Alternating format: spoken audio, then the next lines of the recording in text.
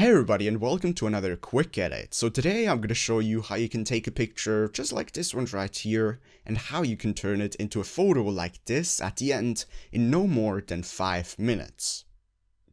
The Lightroom and Photoshop keyboards from Editor's Keys have the shortcuts printed on the keys themselves to help you with faster editing. Check them out at the link in the video description below.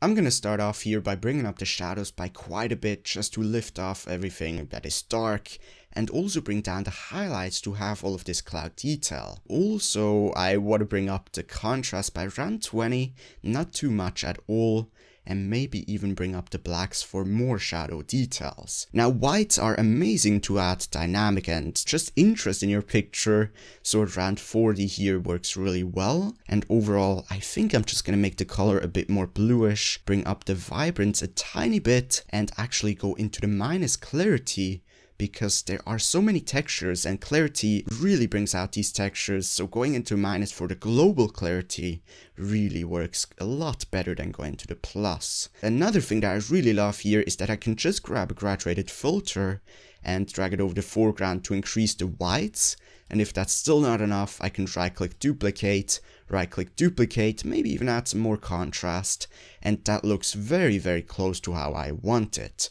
So I'm gonna go down right away into the split toning, into the highlights right here. If you just click on this little box, you will get a color palette and that will allow you to add colors in just the highlights.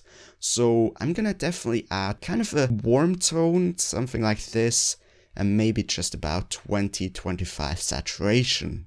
Going into the shadows though, I wanna add some blues as a differentiation, as a contrast to the warm tones, and let me just figure out which tone exactly. I think, yeah, kind of a purplish tone, slightly even, and really just add a hint like 8 or 10% saturation.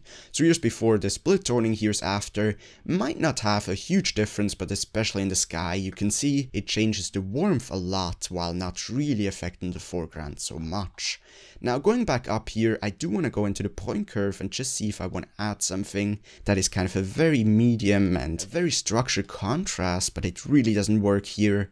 So instead, I'm just going to go into the sliders, bring up the highlights a bit, maybe, yeah, maybe bring up the lights as well. And in terms of the foreground, I think I'm actually going to bring up the darks and bring down the shadows and the shadows in the tonal curve will just bring down the very very dark shadows. So that allows me to get some contrast while overall still having a rather very bright foreground. Now what I really want to do is of course a lot of local adjustments but before that I want to go into the HSL tool, grab this little pinpointer right next to the hue and actually fine tune the hue of these green tones because it's a very weird color and it was really weird there. So I just kind of want to make it look a bit more natural, maybe a bit less extremely green, and just kind of blend in more with these tones in the background as well.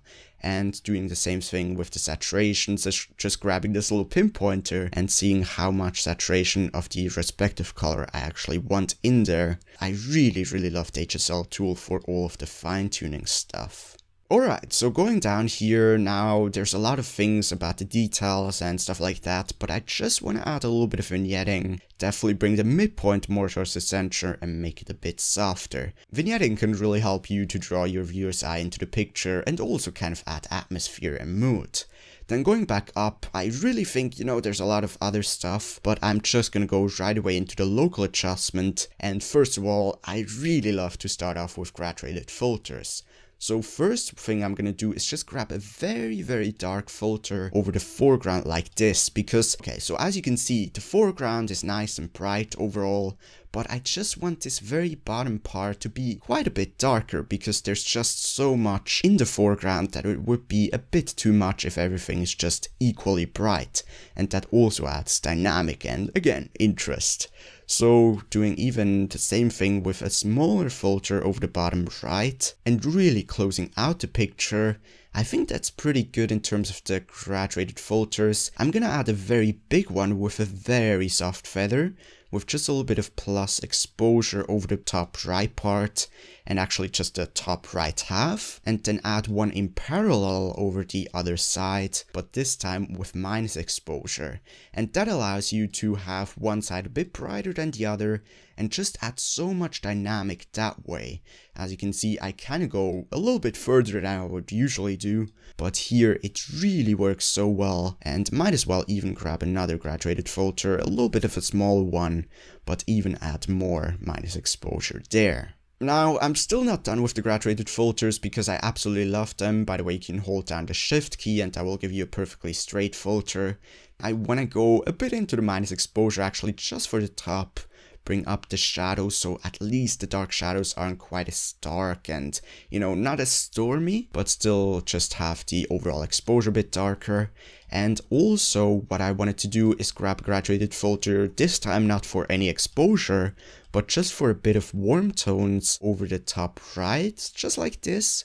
Again, never go too far, always make sure it still looks somewhat natural and then even duplicate that and add a slightly different color over here. Yeah, kind of more into red tones, I guess, but really not that much saturation at all in this one and kind of angle it correctly while also going back to the other one and just kind of fine tuning everything. You know, you really have to fine tune quite a lot of things because that's also the great thing about Lightroom. You can just go back to an adjustment, change some things and see how it looks at the end. Now at the same time I'm gonna add another graduated filter over the left side and my goal is, okay so you can see here it's kind of warm, getting neutral, getting blue, blue, blue, so I kind of want to have a differentiation from warm tones to the blue tones, but at the same time I do want to have some differentiation in the blue tones and namely make the left part a little bit more dark bluish just like this, maybe also adjust the saturation just a tiny bit and add even another filter with again a very soft edge just with a different angle and add kind of a different blue tone maybe more towards the actual purples just like that and really get some color in this entire photo maybe a little bit more magenta in the tint as well and I actually think that looks really really good you know what I could even add more saturation in the actual purple so that looks pretty good. Overall though, I think I'm just gonna add the very last graduated filter over the sky, just with a little bit of minus uh, saturation. So it's not quite as over the top with everything with the tint here. And maybe just make it a hint warmer. Yeah, just something like that. So it's not crazy punchy over the top saturated. Now just to show you real quick before the graduated filters and after, as you can see a huge difference. However, I do want to do a last thing to this picture which is dodge and burning. And dodge and burning is making individual parts either darker or brighter in a very local area. And I love to use the radial filter for that so you want to make sure you invert the mask so the actual effect is within the filter and not outside and also you want to bring the feather to 100 because if you don't do that it will be kind of harsh and not really blend in with the rest of the picture. So going into the plus exposure first, you really want to be careful not to go over the top here.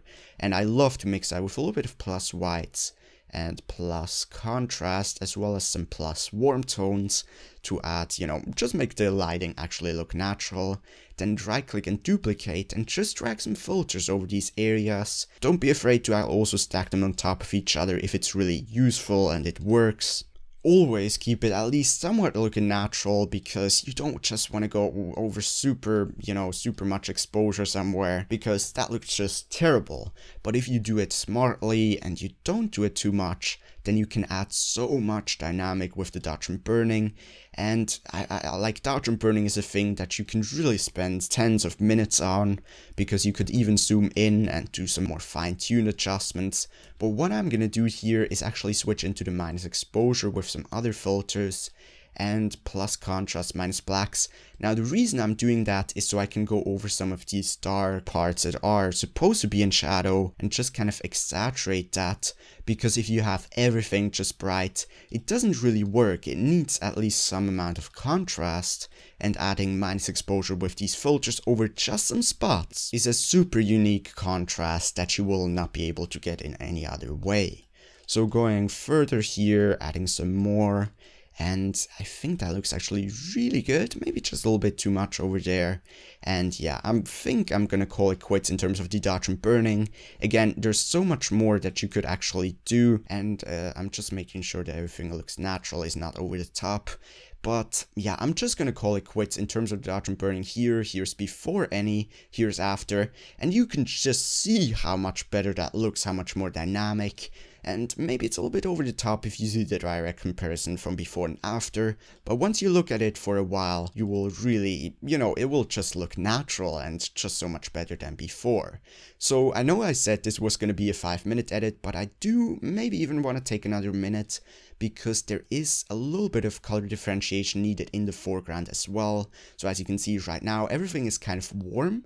So I just want to bring a filter, radial filter, with a slightly cooler color temperature and also a slightly different tint over the foreground here not really too much affected at all, you know, really just getting some differentiation, a word that I've probably said 10 times already, but there is so much to, you can do, and while I'm at it, I might as well also go over the top right of the sky here with another graduated filter, make it just a little bit less warm, because it was a bit over the top before, and again, just look how at your picture, see how it looks, and then adjust according to that. And as a very last thing, I'm just gonna go down here into the lens corrections and just remove that really annoying and ugly chromatic aberration or the purple and green fringing on the high contrast edges.